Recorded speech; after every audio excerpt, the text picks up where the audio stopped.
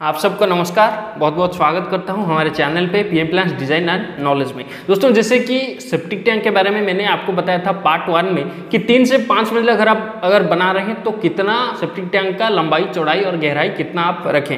आज दोस्तों part two में मैं आपको बताऊँगा, अगर आप पार्किंग के नीचे सेप्टिक टैंक बना रहे हैं तो क्या आपको बीम का, नीचे बीम का ढलाई करके उसके ऊपर जुड़ाई करना चाहिए या ऐसे ही आप बालू डाल के पीसीसी डाल के जुड़ाई कर सकते हैं? क्यों बीम ढलाई करना ज़रूरी है?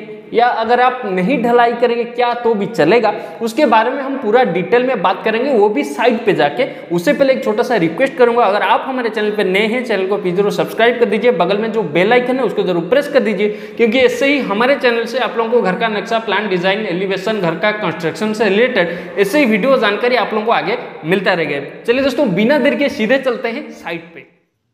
जैसे कि दोस्तों आप यहाँ पे देख सकते हैं कि अभी बीम का शटरिंग हो गया है, अभी ढलाई का काम चल रहा है। मैं आपको बता दूँ कि चार कॉलम यहाँ पे दिया गया है। कॉलम देना दोस्तों बहुत ही ज़रूरी है। क्यों ज़रूरी है? बीम देना क्यों ज़रूरी है? उसके बारे में हम बात करेंगे। पहले दोस्तों आप जान लीजिए, देखिए, चार यहाँ पे पार्टीशन किया गया है, जो कि चार हिस्सों में ये डिवाइड हो रहा है, जो कि एक इनलेट रहेगा, वहाँ से पानी आएगा दूसरे चैम्बर से। और दो सोकपीट रखा गया है। सेप्टिक टैंक के नीचे भी आप सोकपीट रख सकते हैं। आप अगर ये सोच रहे हैं कि पानी लीकेज का दिक्कत हो सकता है तो ऐसा कुछ भी नहीं होगा। आप केमिकल देके प्लास्टर करके उसके उसके बाद आप पर्निंग भी कर सकते हैं तो पानी का लीकेज नहीं होगा। अभी दोस्तों बात करेंगे कॉलम में। दोस्तों, जो रॉड लगाया गया, जो स्टील लगाया गया है, मैं आपको बता दूँ हाइट है आपका आठ फीट जो स्टील लगाया गया है, वो चार सरिया दिया गया है 16 एम mm का चार सरिया लगाया गया है कॉलम में। और जो बीम में सरिया लगाया गया है, वो दोस्तों लगाया गया है 12 एम mm का चार सरिया बीम में लगाया गया है और ढलाई करने के बाद बीम का जो साइज़ रहेगा, वो रहेगा आपका 10 इंच बाय 10 इंच आपका बीम का साइज़ रहेगा। मैं आपको यहाँ पे बता दूँ कि बीम देना क्यों ज़रूरी है, मैं आपको बताता हूँ, बिल्कुल भी वीडियो को आप स्किप मत कीजिए, आप लास्ट तक वीडियो को देखते रहिए। देखिए, जैसे कि यहाँ पे पूरा ढलाई का काम खत्म हो गया है, अभी जुड़ाई का काम चल रहा है। बीम देना दोस्तों इसलिए ज़रूरी है कि ये जो पार्किंग आप देख रहे हैं, यहाँ पे दो कार रहेगा, यहाँ पे पाँच छह बाइक रहेगा। अगर और भी जगह बचा तो एक कार और भी रह सकता है पार्किंग में इतना जगह है दोस्तों। तो गाड़ी का, दो तीन कार का जो लोड होगा, जब पार्किंग में गाड़ी रहेगा तो सारा लोड दोस्तों लेगा सेफ्टी टैंक का छत लेगा, सारा का सारा लोड। ये जुड़ाई होने के बाद सेफ्टी टैंक का टैंक का छत भी ढलाया जाएगा दोस्तों। देखिए, बीम का जो साइज़ है, आपका ये 10 इंच है और जो थिकनेस है, वो भी 10 इंच है, जैसे कि मैंने आपको यहाँ पे बताया। तो जो भी आपका गाड़ी का लोड रहेगा, वो छत के ऊपर पड़ेगा। छत से कॉलम में डिस्ट्रीब्यूट होगा।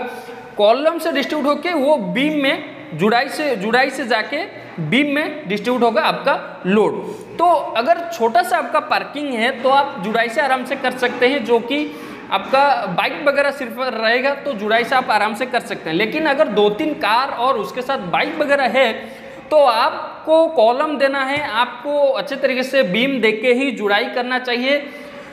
तब जाके आपका परफेक्ट वो क्या करे, आपका जितना भी गाड़ी रहेगा, उसका लोड आराम से वो सह पाएगा दोस्तों. अभी दोस्तों क्या हो रहा है कि जितना भी आपका, मान लीजिए, जितना ज़्यादा आपका गाड़ी रहेगा, उतना ही ज़्यादा लोड रहेगा, उसी हिसाब से, उससे, उस हिसाब से आपको बीम का डिज़ाइन भी उसी हिसाब से करना है। तो मेन चीज़ दोस्तों ये है कि पार्किंग के नीचे आप, अगर बड़ा सा पार्किंग और ज़्यादा कार ज़्यादा व्हीकल रह रहा है तो आप कॉलम और नीचे बीम ढलाई करके ही सेफ्टी टैंक को बना सो दोस्तों, जैसे कि आपने देखा कि पार्किंग के नीचे आप अगर सेफ्टी टैंक बना रहे हैं तो आपको बीम देना बहुत ही ज़रूरी है, क्योंकि गाड़ी का जो लोड आएगा, वो डिस्ट्रीब्यूट होगा कॉलम से कॉलम से लेके बीम से डिस्ट्रीब्यूट होगा।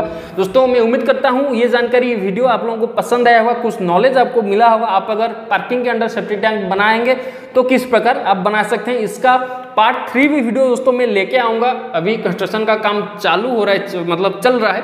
पार्ट थ्री भी वीडियो लेके आऊँगा, किस तरीके से आपको पार्टीशन देना है, वो भी मैं आपको बताऊँगा। अगर वीडियो पसंद आया, आप लोगों को कैसा लगा, आप हमें कमेंट में ज़रूर बताइए। अगर पसंद है वीडियो को एक लाइक कर दीजिए। चैनल पे आप अगर नहीं है, चैनल को भी ज़रूर सब्सक्राइब कीजिए। बगल में जो बेल आइकन है, उसको ज़रूर प्रेस कर दीजिए। चलिए दोस्तों, आज के वीडियो में इतना ही, मिलते हैं अगले वीडियो में। नमस्कार।